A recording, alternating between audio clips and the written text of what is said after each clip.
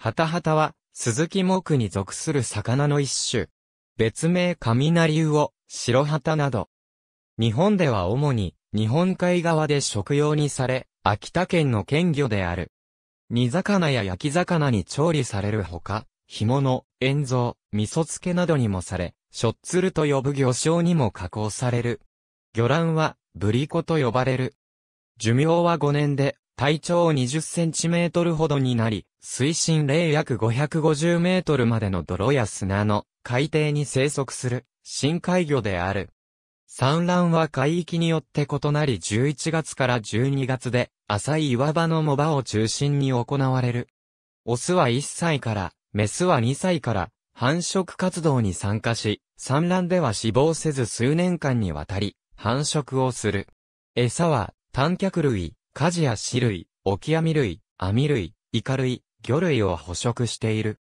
生息域は北西太平洋で、特に日本海、オホーツク海、千島列島、カムチャッカ半島など、沖山宗男により、日本周辺に生息する、ハタハタの個体群は、三つの地域的な集団に大きく、分類できるとされ、その後のミトコンドリア DNA の解析により、この三つが、遺伝子的にも区別されることが明らかとなっている。また、これら個体群を、さらに地域群に細分化する研究者もいる。東北地方の太平洋側での漁獲は少なく、定常的な産卵場所は確認されていない。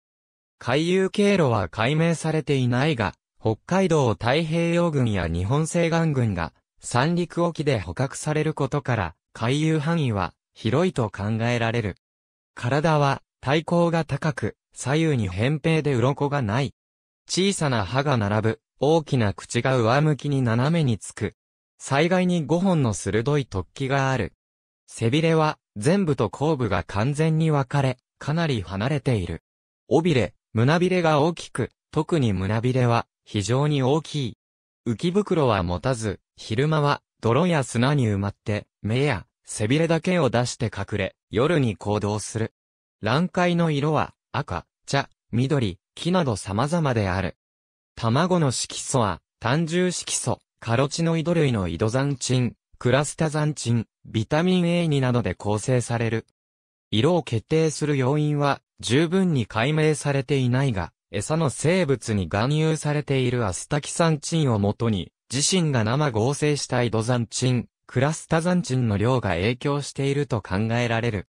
ハタハタは、現在の分類学において、鈴木木はニギスアモクハタハタ科に属しているが、ミトコンドリア DNA の解析結果によれば、ハタハタはカサゴメのカジカの仲間に近いことが分かっている。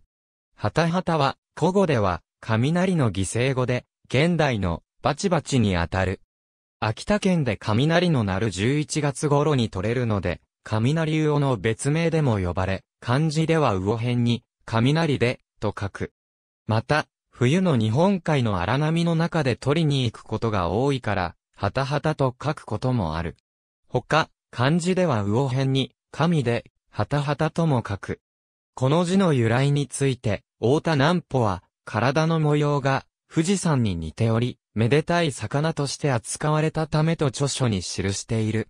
秋田弁では、はたはたの、他の音は優勢化して、無気濁音で発音される。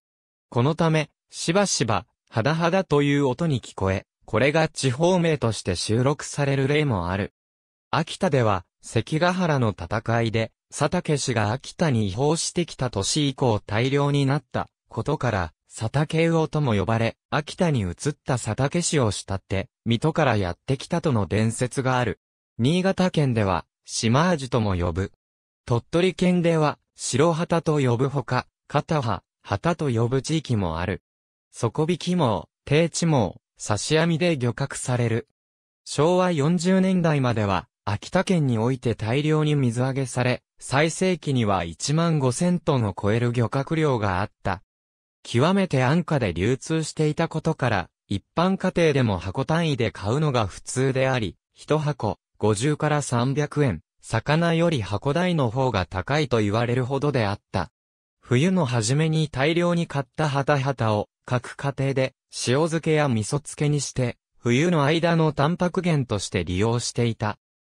しかし乱獲などにより1976年以降は、急激に漁獲量が減ったための漁獲量は、最盛期の1割未満である1386トン、1991年には、わずか71トン、1992年9月から1995年8月まで全面禁漁が施行された。その後、資源保護の取り組みが効果を表し2001年は特に大量の産卵が行われ、2002年以降も産卵のため浜に大量に押し寄せてくる姿が見られ、日本海沿岸各地の漁場は往年の賑わいを取り戻しつつある。鳥取県もハタハタ漁獲量が多い産地の一つである。秋田県周辺で取れるハタハタは産卵のために海面近くまで寄ってきた新魚を取り、卵を抱えているのが特徴であるのに対し、鳥取県周辺で取れるハタハタは餌を求めて、日本海深海を回遊しているハタハタを底引き網で漁獲するため、卵がない代わりに油が乗っているのが特徴である。そのため漁期も秋田が11月から12月頃であるのに対し、鳥取では9月から5月頃となっている。秋田県による禁漁と広域の漁獲制限量が行われる以前は餌量が減少していたため、富山県水産試験場等により、稚魚種苗を放流した資源増殖も研究されていた。ハタハタの紐の食べ方は塩焼き、紐のみりん干し、田楽、ハタハタ汁、甘露煮、飯寿司など。深海魚ゆえに、鱗がないことと見た目以上に、小骨が少なく、脊椎も身から簡単に離れるため、一匹丸ごとか、せいぜい頭を落としただけの状態で煮たり焼いたりすることが多い。鮮度の良いハタハタを焼いた場合、尾びれの付け根で骨を折っておくと、頭の方から脊椎が全部きれいに抜け食べやすい。合わせ味噌をつけて焼く田楽は、山形県庄内地方でもよく食べられる。また、山形県の庄内地方では12月9日に、大黒様のお年寄りという伝統的な行事が行われ、各家庭で大黒様にお供え物をあげる。この大黒様のお年寄りでも、納豆汁などと共に、ハタハタの湯揚げや、ハタハタの田楽等をあげる風習がある。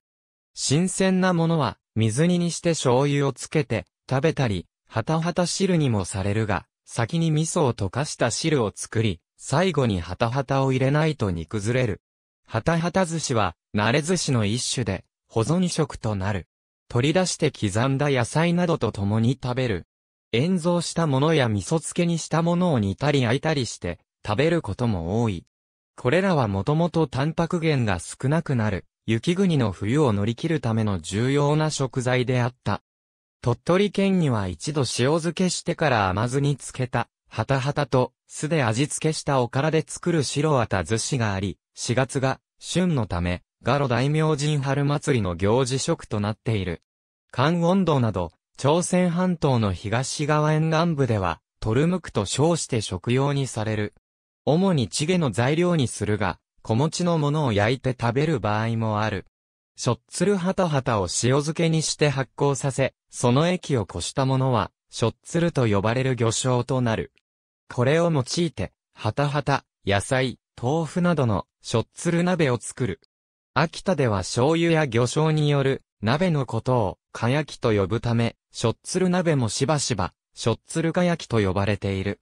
なお、かやきは、大きな貝を鍋代わりに使う、意味の、貝焼きがなまったものと思われる。秋田方言で、ハタハタの卵は、ブリコと呼ばれる。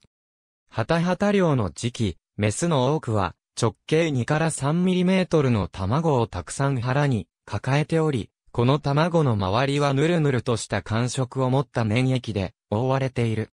生のハタハタを焼いた場合、この卵の塊をかじると、口の中で小気味、よく、プチプチと弾けて、旨味が広がる。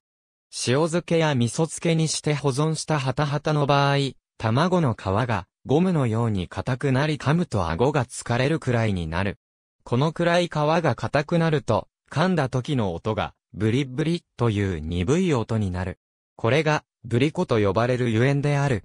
秋田温度の歌詞に出てくる、小賀で小賀ブリコのブリコとは、これのことである。産卵群の乱獲の他にも、不良の主な原因として、などの推定がなされていた。ブリコの語源についてはその他にも、などがある。ありがとうございます。